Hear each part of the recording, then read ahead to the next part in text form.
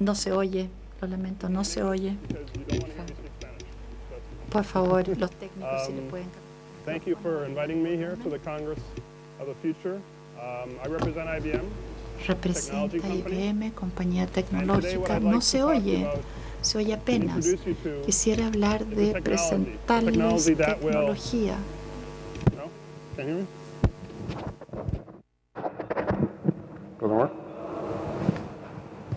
Okay?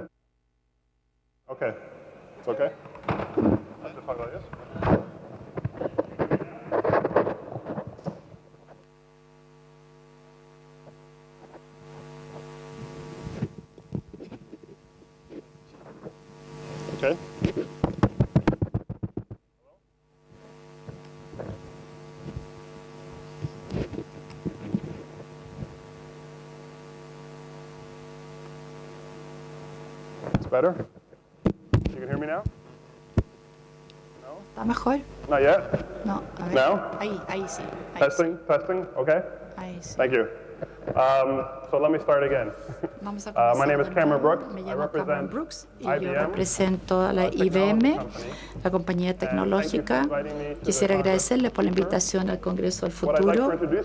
Lo que yo quisiera presentarles como tecnología es algo que realmente tiene el potencial de cambiar la manera we que trabajamos y estudiamos, que trabajamos como sociedad y finalmente la manera en la cual trabajamos con estos amigos nuestros, los futuristas. Entonces quisiera presentarles la tecnología con un breve video. Y es of la misma manera que muchos de nosotros fuimos introducidos a esta tecnología por Watson.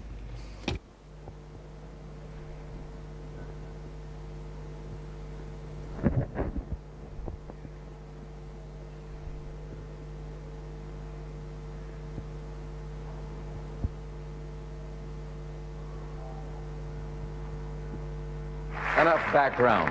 Let's play Jeopardy. Here we go. Juguemos a este juego de Jeopardy, se llama. first round of play La primera ronda tiene estas ca- categorías. All points bulletin. Persona literaria. PB. Persona de los Beatles, oddities. eh, rarezas olímpicas, decade. nombre de la década, Final frontiers. Fronteras finales y, y significados 200, Alex. alternativos. Una palabra de cuatro letras para un punto de ventaja o una meaning creencia.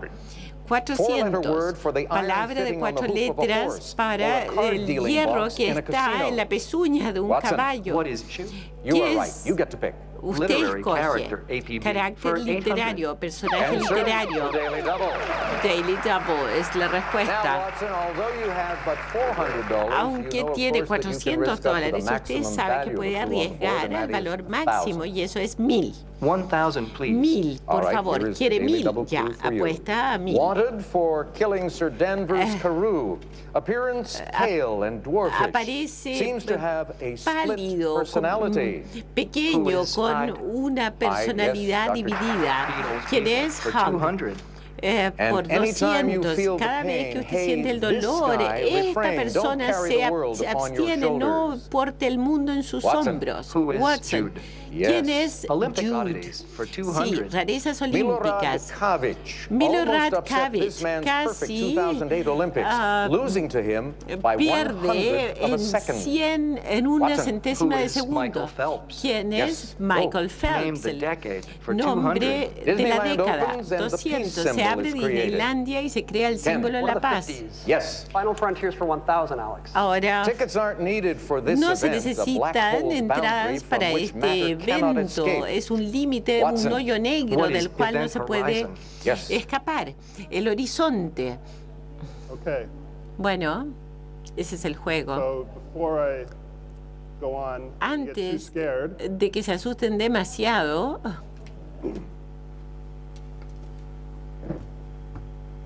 we're talking about estamos hablando de computadores Que aprenden.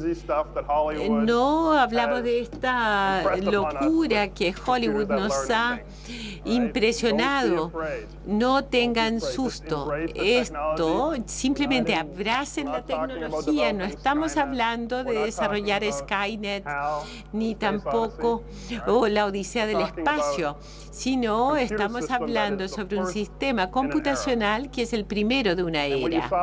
Y cuando vieron de ese juego son tres cosas.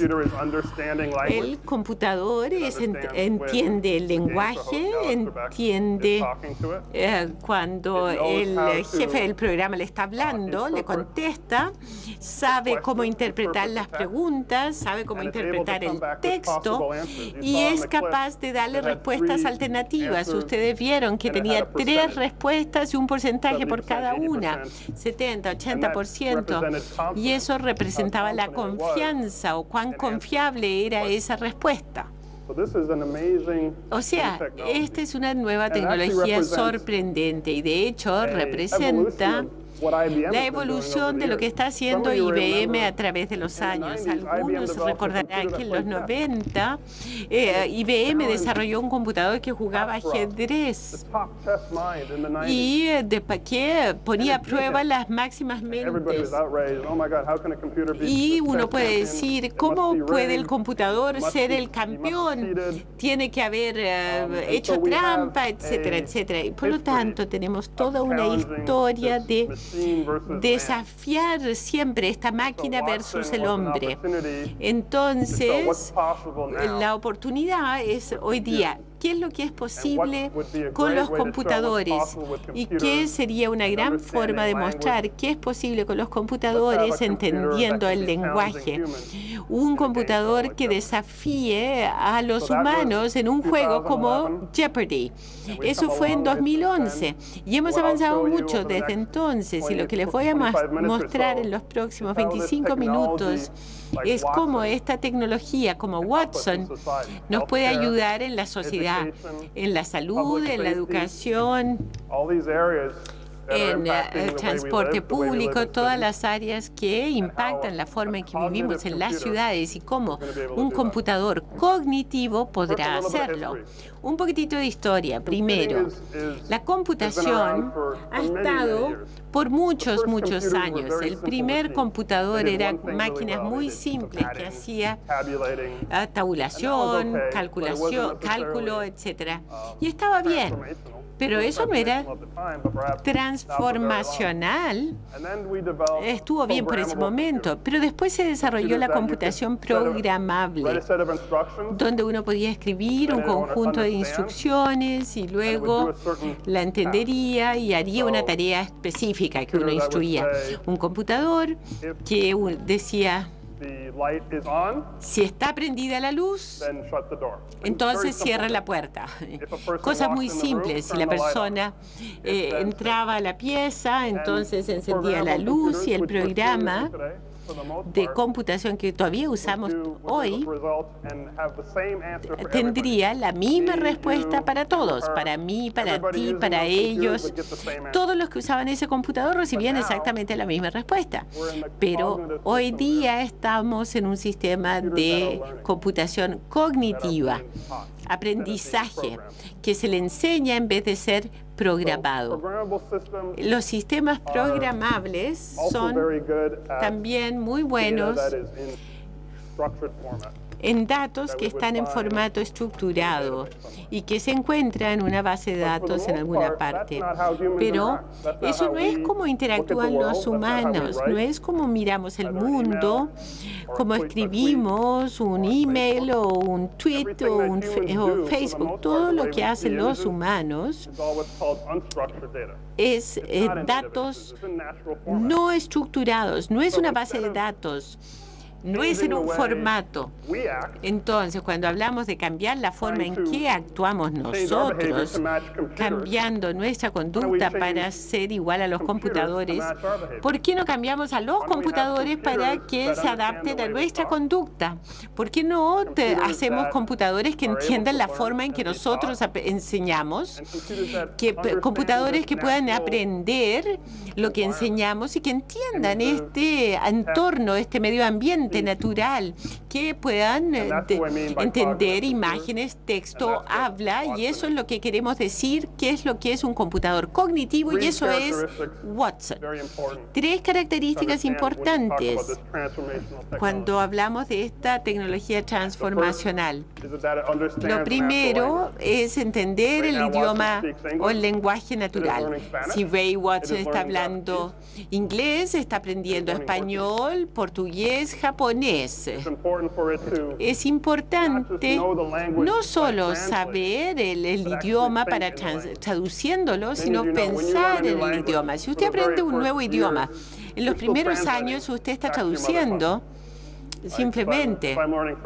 Si yo aprendo francés, igual sigo traduciendo qué significa en inglés. Es lento. Pero cuando ya domina el idioma, usted ya piensa en ese idioma. Y eso es lo que tiene que Watson aprender. Empezar a pensar. Ahora está pensando en inglés, tiene que aprender a pensar en francés, en español. Eso es un idioma natural que entienda los verbos, los sustantivos, el contexto. Cuando yo digo estoy manejando hacia el almacén, sabe que estoy en un auto. En ninguna parte de la frase dije auto, dije estoy manejando hacia la tienda. Entonces Watson entiende que es un auto, entonces le puede decir no maneje por esta vía porque está cerrada.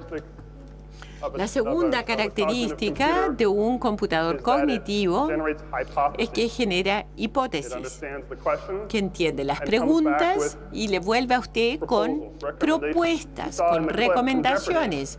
Vieron en ese juego de Jeopardy tres alternativas para respuestas, ¿no?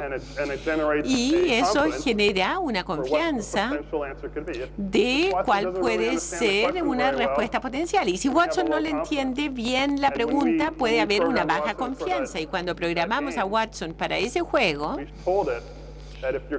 le dijimos, si la confianza es menos de 60%, no, no respondas, no respondas, simplemente. Y eso resultó en que Watson no responde a algunas preguntas porque no tenía más del 60% de confianza. Al igual que los humanos, el jugador humano, si no sabía la respuesta, no tocaba el timbre para contestar. Y esto, pero aprendía y seguía aprendiendo, y esto me lleva al tercer punto. Watson y computador cognitivo se adapta y aprende. Entonces, eh, responde la primera vez, el humano le dice, no, no es lo exactamente lo que estaba buscando. ¿Me puede contestar esta pregunta? Y Watson vuelve y le dice, sí, eso es mejor. Entonces, esa interacción que esto, esto eh, permite que Watson responda con una mejor respuesta la segunda vez esa pregunta que usted le ha planteado. Sigue y sigue aprendiendo. Y eso me lleva a mí un punto muy importante. Un computador cognitivo como Watson, la peor desempeño va a ser el día uno. Y de ahí va eh, a mejorar y mejorar y mejorar. Aunque, mientras que otro computador, claro, funciona y después con el tiempo se hace cada vez más lento, más lento, ¿no es cierto? Aparecen hay que actualizar el, el programa, entonces su desempeño es cada vez peor. Ese es el computador antiguo. El, el cognitivo aprende, cada vez se hace mejor porque aprende. Ahora uno podría pensar, bueno, bien, Watson está respondiendo preguntas. Entonces, ¿por qué no seguir con Google? ¿Por qué Watson? Bueno, para Jeopardy, Watson no estaba conectado con Internet, estaba desconectado. O sea, ya había ingerido, leído Wikipedia, libros de textos, había aprendido muchos cuerpos de conocimiento para form- formarse un cuerpo, un cuerpo, un conjunto de conocimiento que le permitía responder esas preguntas. Y por lo tanto, una distinción importante entre Watson y un buscador de Google, eh, eh, digamos que usted tiene una pregunta. Usted y yo hemos estado usando buscadores por muchos años. Ya sabemos cómo eh, digitar palabras claves. Entonces, ya estamos traduciendo de un idioma natural a un idioma computacional porque solo colocamos palabras claves. Un buscador, ¿no es cierto? Mira esas palabras claves y retorna una cantidad de documentos, generalmente sobre la base necessarily popularidad, no necesariamente contexto o relevancia, sino popularidad. And then we, the Y user, nosotros, el usuario, tenemos que leer esos documentos y encontrar la respuesta correcta. Toma tiempo, uno se puede frustrar, hace una nueva búsqueda, uno reorganiza las palabras para con- conseguir la respuesta. Imagínese entonces ahora un computador cognitivo donde el primer cambio es que en vez de traducir una pregunta en palabras claves, usted puede hacer la pregunta en forma natural, normal. ¿A qué horas abre la tienda? Instead of saying En vez de decir something very specific with algo muy específico con palabras claves. Watson le va a entender la pregunta tal como las entendía de ese juego. Jeopardy. Entonces busca en su cuerpo de conocimiento, genera hipótesis, respuestas posibles, analiza la confianza de esas respuestas y le devuelve esas eh, respuestas a usted, algo muy específico. Usted como usuario inmediatamente tiene la respuesta. Entonces una gran diferencia. Mientras que los computadores ahora se hacen, se han convertido en una ayuda para el humano en vez y menos. Una eh, cada vez menos una referencia o una base de datos con la cual usted tenga que buscar y, es, y se ha visto muchas aplicaciones transformacionales. No quiero hacer esto muy técnico, por eso, por eso eh, voy a entrar a las aplicaciones. Hay que entender um, muchos eh, de los datos que hemos generado a través de los años de computadores, lo que se Excel llama spreadsheets, datos estructurados. Es decir, son hojas de cálculo, de filas, hileras, columnas. Los computadores son excelentes para leer y aprender estos datos. El problema es que ustedes y yo no hablamos en tablas. Cuando les hago una pregunta y les pregunto qué hago mañana, yo no les mando una tabla con el tiempo aquí, la hora acá, el calendario. Esa no es la forma que hablamos. Hablamos en lo que se llama datos no estructurados. Texto, tweets, so- medios sociales, correos electrónicos, documentos en- de texto, o sea, de Word, y todos los datos generados en Internet están en este formato, datos no estructurados, que es fantástico para usted y para mí, pero no es tan bueno para los computadores, porque tienen una gran dificultad para ver estos datos y entender lo que quieren decir. Y por eso es importante entender computadores cognitivos donde pueden aprender sobre todos estos datos, llevarlo a un humano y que se pueda tomar una mejor decisión. Many of you have heard about the Muchos de ustedes han escuchado sobre la explosión de datos. Sensores, emails, emails, es- celulares. 90% of the world's data has been created in the 90% last de los datos del mundo se han creado en los últimos tres años. um, Esto está ayudando a las ciudades a responder mejor a Um, cosas it is como vio mi colega. Algunos ayudan a empresas, otros a los gobiernos, pero still unstructured. 80% la this mayoría sigue siendo no estructurado. 80% de los datos son no estructurados. Y eso significa que solo actually being used. 20% de los datos 80% is generados se there utilizan. And allowing the 80% internet to grow. está ahí que permite que. Internet crezca, pero no somos capaces de usarlo. Y es por eso que necesitamos una forma de llegar a to estos datos no estructurados para desarrollar un computador quien entienda el lenguaje natural, lo lea, entienda y se convierta en un asesor, por ejemplo, al doctor, al médico, asesor para el banquero, a un eh, data, centro de inteligencia, porque en esos datos We están incluidos, hay, hay un valor incluido y por lo tanto hay que tener acceso a él. about a cognitive computer like Watson, what are you going to use it Entonces, cuando hablamos de un computador como Watson, ¿para qué lo vamos a usar? Lo primero que podemos hacer es usarlo con formato de responder preguntas. Watson puede leer rápidamente una serie de documentos y usted le puede hacer la pregunta. Una pregunta que ustedes conozcan, que a lo mejor usted y yo podríamos no conocerlo porque no tenemos tiempo para leer todo el documento. O si lo hiciéramos, no nos acordaríamos. Yo no me acuerdo todo lo que leí sobre la última novela o libro que leí. No me acuerdo cada frase, cada palabra, cada uno de los eventos, pero Watson sí se acuerda. Así que tal vez hay aplicaciones en que uno puede tener, es como tener un amigo, un colega que se acuerde de todo lo que haya leído alguna vez y le pueden preguntar. Sería bien útil. La segunda área está en descubrimiento. La respuesta no se sabe. No sabemos dónde vive ahora este terrorista. We don't know exactly, No sabemos exactamente qué enfermedad es la que tiene este paciente. Pero tal vez hay claves en los datos o pistas que nos puedan ayudar. Tal vez sabemos de leer una serie de revistas médicas que hubo casos parecidos unos años atrás en tal hospital y este fue el tratamiento y el paciente mejoró. De ese conocimiento se le puede transmitir al doctor para ayudarlo a diagnosticar y tratar al paciente. Esos descubrimientos. El área final, uno puede pensar de. Watson es para tomar decisiones. Ahora no se asusten. Watson no toma decisiones por sí solo, no? You consciente de esto. Todavía tenemos a los médicos o a profesionales que toman esas decisiones. perhaps Watson can be Pero tal vez Watson an advisor to help puede ser un asesor para ayudar a decidir si mi cliente podría invertir en tal acción o en tal otra.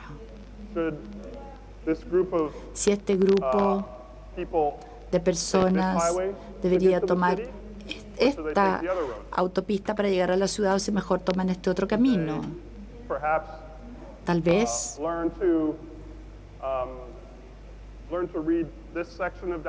aprender a leer esta sección del documento basado en qué es lo que quiere hacer el alumno cuando se gradúe, si debería tomar estos cursos o estos otros. Estas son decisiones que pueden ser learn. por gráficos que puede aprenderse Watson. Quisiera hablarles de la primera área. Jugamos este 2011. juego en 2011. In 2012, El 2012 we taught Watson the field of medicine lo ligamos al ámbito de la medicina, o sea, Watson fue a la escuela de medicina. Aprendió de enfermedades, específicamente de cáncer, aprendió qué tipo de tratamientos existe, leyó toneladas de revistas médicas, artículos, fichas de pacientes. Y lo que está haciendo ahora es que pueden ayudar a los médicos a diagnosticar y tratar. Tal como los datos en Internet, information is doubling at an alarming rate. la, la tasa de información duplica la capacidad de aprendizaje. Si uno le piensa, pregunta a un médico cuánto tiempo pasa leyendo eh, las revistas médicas o actualizándose en la última enfermedad, es demasiado. Entonces, un amigo y un asesor que ha leído todas las últimas revistas médicas, que ha estado en contacto con todos los médicos expertos y puede ayudarle a su médico a que tenga mejor opción de diagnóstico y tratamiento. Eso es lo que está haciendo. Watson y lo ha estado haciendo ya los últimos varios años. Puede leer y comprender toda esta tecnología, todas estas fichas en segundos. Y puede actualizarse todas las noches, todos los días, para que siempre esté actualizado. Imagínese la capacidad de tomar decisiones en cuanto a un problema de salud en segundos, porque ha accesado todo. Cuando uno piensa en una ciudad más inteligente, uno piensa en una ciudad más sana, ciudades que puedan tener acceso a médicos que están ayudados por la tecnología, sí, se vuelven más sanos, más felices. Y tenemos una ciudad más feliz y próspera. Les voy a mostrar mi segundo video, específicamente en esta área, y van a ver la diferencia entre lo que estaba haciendo Watson en este juego, la primera demostración de esta tecnología, y lo que Watson está haciendo ahora. Oh, hold on. Technology, right? What are you gonna do?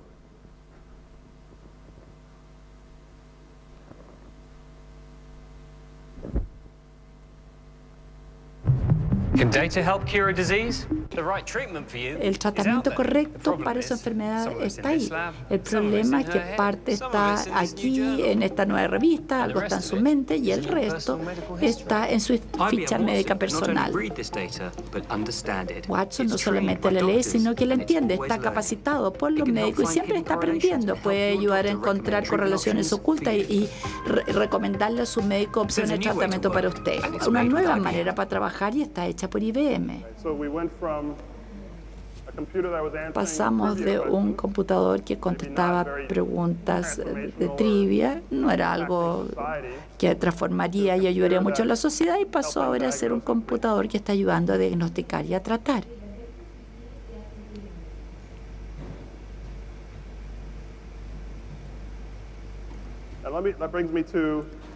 Esto me lleva a la segunda área de seguridad pública, un área muy relevante. Hay mucho que está pasando en este momento uh, y es muy difícil para los analistas de inteligencia, las instituciones de la ley y del orden, mantener un registro donde están todos estos delincuentes que están haciendo, dónde estuvieron, con quién están relacionados, dónde viven, con on, on quién conversan por los medios o por los teléfonos. Porque en general las herramientas que usan los analistas son desarrollados de computadores programables. Eso es lo que tenemos. Piensen en todos los datos que existen, que no están estructurados. Ejemplos aquí. Informes de laboratorio, correos electrónicos, llamados de los medios de comunicación, notas de una entrevista, planes de viaje, declaraciones eh, judiciales. Todo esto son datos que se han generado al curso, a lo largo de una investigación que tiene claves ahí y pistas, pero en general los analistas no tienen tiempo de leerlo todo. Están ocupados, tal vez tomando tiempo para ir al lugar de los hechos, ver lo que ocurrió y bajo presión de rendir, no se pueden acordar. Tal vez los únicos momentos que hay descubrimientos es cuando alguien dice, ah, sí me acuerdo algo de esta misma persona que cometió un delito en otra parte del país, así. Entonces uno va y busca y eventualmente empieza a hacer las conexiones. Es increíble cuántos de estos descubrimientos vienen de que alguien de repente se acordó de algo. Imagínense cómo tener, sería tener un colega, un asesor que se hubiera leído todo esto, que no se le olvidara nada y que usted pudiera conversar con él en una manera de lenguaje natural, hacerle preguntas y le puede dar consejos. Y eso es lo que está haciendo Watson en el campo de la ley, el cumplimiento de la ley, el orden y la inteligencia, manteniendo eh, rastreo de un sospechoso. Tal vez el sospechoso de haber cometido una serie de delitos y puede que ustedes no sepan dónde está en este momento. Tiene una historia muy larga, todas las cosas que él ha hecho. Toneladas de informes y no hay tiempo para leer todo, pero en alguna parte tal vez ustedes podrían darse cuenta si lo leen con cuidado que pasó una semana, varios años atrás, visitando a un amigo en Cuba o donde sea. En ese momento podría no haber sido relevante cuando lo leyó tres años atrás, así que ya ni se acuerda. Pero si tuviera eh, un asesor que se acordara de eso y quisiera la conexión con la misma persona, tal vez usted podría saber que se fue a Cuba y podría pillarlo trabajar con los oficiales de la ley de allá y arrestar a ese sospechoso. Y de eso es lo que estamos hablando con Watson. Eh, Los computadores han ayudado al trabajo de la ley durante mucho tiempo, pero estas son capacidades adicionales de poder ser un amigo, un colega, un asesor que contribuye con toda esta tecnología.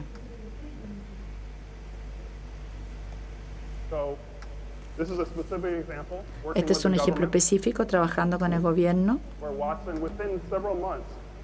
Watson ya se ha, se ha estudiado 40 millones de documentos, 40 mil diarios. Ninguno de nosotros puede leer así de rápido. Entonces se le entrena haciéndole una serie de preguntas relacionadas a esos documentos. Cada vez que hace una pregunta, el computador aprende. Cada vez que usted interactúa con él, aprende. Pensemos en otros cosas. Tal vez una industria. A ver, veamos las compañías de agua, de luz, basura. Y tenemos ahí a la persona que está a cargo de todo esto, lleva 40 años trabajando, está a punto de jubilarse, pero él es la persona a quien usted le pregunta, cada vez que pasa algo, usted le pregunta a esa persona qué hacer. Tenemos una filtración, ¿qué hacemos? Ah, llama a Johnny. Ya, Johnny, sí, yo me acuerdo que esto pasó en tal época y lo resolvimos así, WhatsApp. Qué bueno. Algo más ocurre con otra emergencia. Allí pregúntele a Johnny. Ah, pero Johnny se nos jubiló. Está viviendo por ahí en una cancha de golf en alguna parte. Ya no hay que preguntarle qué hacemos. Imagínense que Johnny está ahora en la forma de Watson. Watson no se va a jubilar, ni siquiera se va a tomar ahí un día de licencia por enfermedad, va a estar ahí siempre. Y todo ese cuerpo de conocimiento de su experto se le puede enseñar a Watson y Watson puede pasar a ser ese asesor que les ayuda cada vez que hay un problema, cuando hay emergencias en el agua, en la luz o lo que sea. Debido a lo que ha pasado antes, sabe cómo se puede responder mejor basado en la historia. Quisiera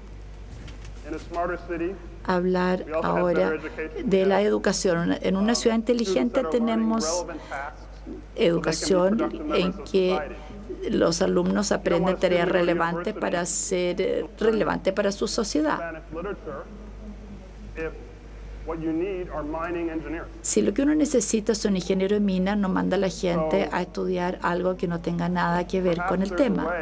Tal vez hay alguna manera de tener un asesor para que cuando los niños entren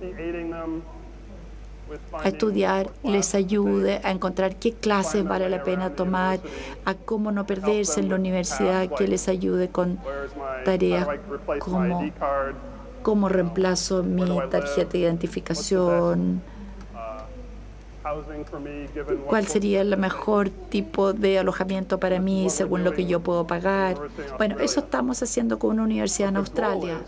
La meta es que a lo largo de los cuatro o cinco años que está en la universidad, Watson esté ahí. Es como si fuera el compañero de habitación, aprendiendo todo sobre usted, qué curso está tomando, qué notas está sacando, qué ejercicio de laboratorio le gusta, cuáles no.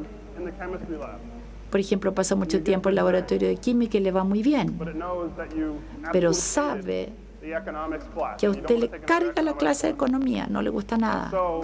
Entonces, cuando ya llega al tercer año, tal vez el último año, Watson pasa a ser un asesor de carrera para usted.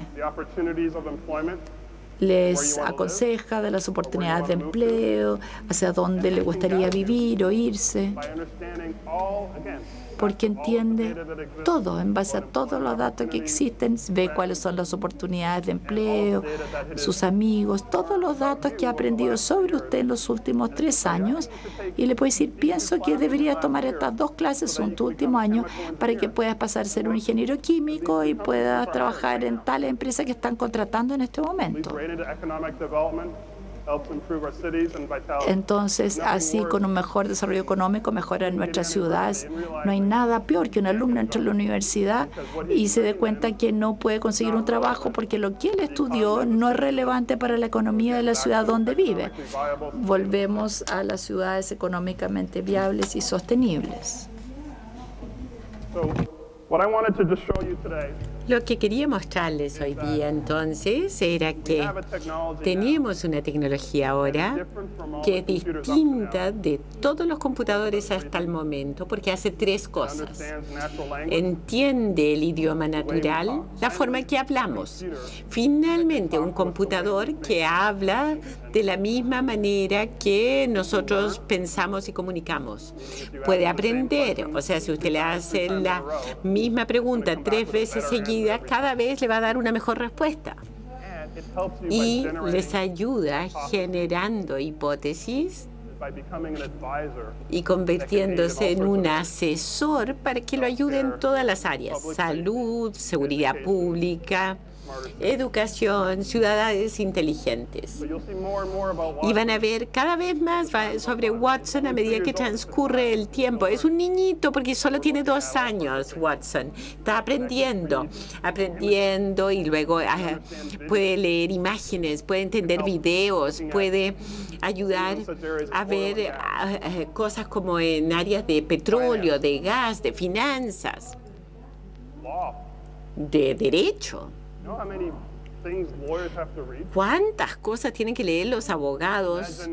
Imagínense un asesor como Watson que ha ya recorrido todos los casos eh, precedentes y, y, sea el asesor para que pueda ayudarle a defender y mejorar la justicia, por ejemplo.